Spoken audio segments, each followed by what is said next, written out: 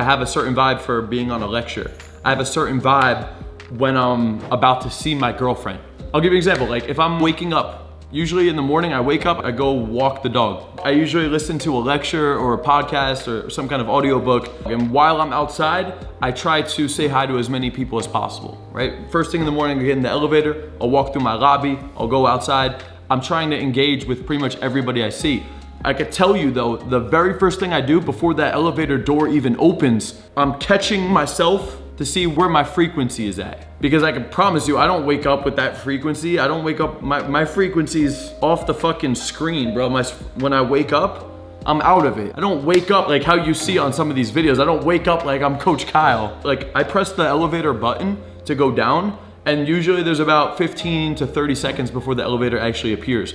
And I've just made it a routine for when I press that button, it's a state check for me before I go out and see the fucking world. I need to fucking check myself and catch myself wherever I'm at and adjust myself. There's definitely some people listening It's like, wow, that's like fake as fuck. You can't just like be yourself like when you go out. It's like, dude, who told you to be yourself? Like you do this too unconsciously. We all wake up and we all go into society with this bullshit invisible mask on. But a lot of you guys just do it unconsciously based off of learned behaviors that your parents gave you, that your environment gave you, that your school system gave you, or that previous relationships gave you. Everybody acts a certain way. You all have learned behaviors. You all wake up with this bullshit invisible mask on. So you might as well be aware of what it is and just crank it up to a really really attractive frequency. Because over time you are what you do repeatedly. You'll become the frequency that you are. I've, I've created this character. Pickup and self-development is character development. I've reverse engineered myself into the guy I am right now.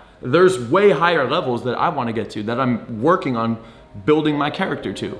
Socially financially spiritually physically everything okay? It's all character development. So you want to see where you're at and reverse engineer your way to being that guy. So back to my story, just to close this out. Press the elevator button, 15, 30 seconds, check myself. Typically in the very early in the morning, my posture is not on point. It's usually because I wake up, like if I just, imagine you just woke up, you're going to the bathroom, I'm like this. Like when I'm going to the bathroom, I'm like this.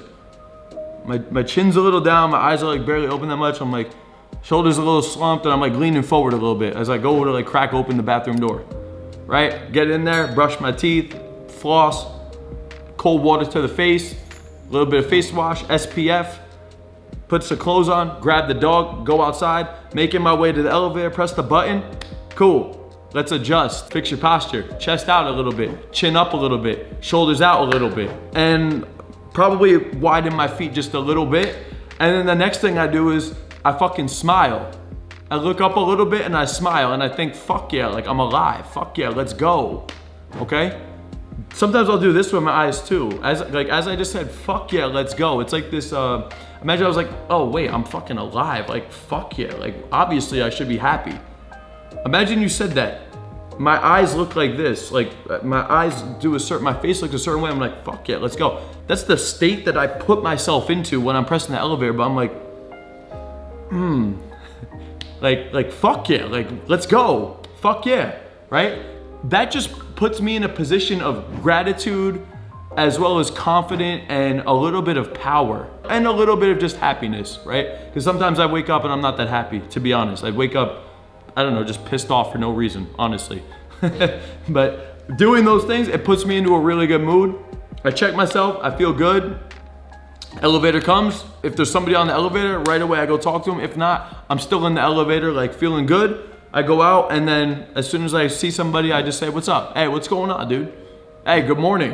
What's up? How you doing? I try to talk like that in the very beginning of the day because I know it's just gonna build up and up and up. There's days where it's not that easy. There's days where it's extremely easy, but what's important is sticking to it because again, you are what you do repeatedly. So check yourself, check your state, and always be aware of it. Whether it's just me waking up in the morning, if I'm about to be on a phone call, or if I'm trying to like flirt with the girl, there's a certain state that I need to put myself into. If I'm about to go on a date, right? Like I'm gonna see my girlfriend later right, when this call's over, we're probably gonna hang out at some point. I know, I know she's probably gonna come down here. It might be late, but I still know when she comes down, I wanna be in a good ass mood. I want that first second when she walks in the door, I want her to feel that fucking emotion. Why? Because people get addicted to feeling that emotion when they're around you.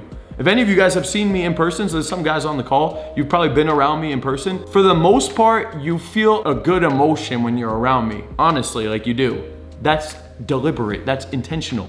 That's what makes you magnetic, man. People get drawn into the vibe and the emotion that you put out. There's a reason you guys watch my videos because there's a certain vibe, there's a certain frequency that I'm really tapped into that you guys admire or resonate with or want to replicate it.